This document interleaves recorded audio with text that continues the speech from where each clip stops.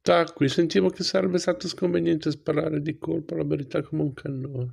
Che suo padre aveva ucciso appunto perché non amava nulla se non il suo biliardo e i suoi studi di scienze naturali. Questa assurda, maledetta verità non potevo spiegargliela. Era insensato parlare della mia visione dei fatti, che era un'intuizione, non una realtà dimostrabile. Non conosco la causa del gesto per cui suo padre è stato condannato, signorina Connor. Dichiarai quindi con cautela, parlo di qualcos'altro, qualcosa che spiega non, non il suo gesto, ma l'incarico che mi affida. Con questo incarico suo padre vuole indagare l'ambito del possibile. Questo è il suo scopo scientifico e a quanto dice. Ho il compito di attenermi rigorosamente a questo. Nessuno ci crederebbe, esclamò Helen con agitazione. La contraddisse. Io devo crederlo, dichiarai, perché ho accettato l'incarico.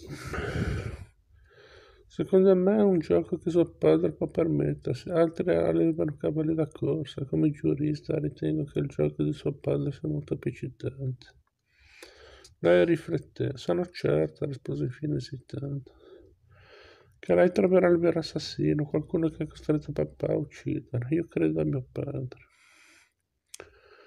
La sua disperazione mi faceva pena. L'avrei aiutata volentieri, ma era impotente. Signorina Colle, rispose, voglio essere onesto con lei, non credo che troverò questo qualcuno.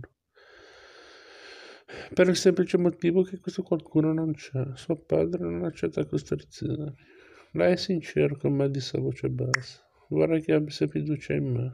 Mi fissò in viso, attenta con sguardo cupo.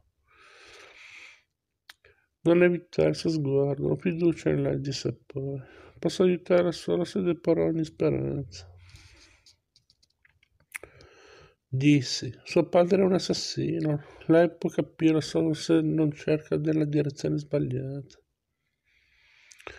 Bisogna cercare la ragione del delitto in suo padre, non in qualcun altro. Non si preoccupi più per l'incarico che mi ha dato, è affar mio. Mi alzai, anche lei si alzò.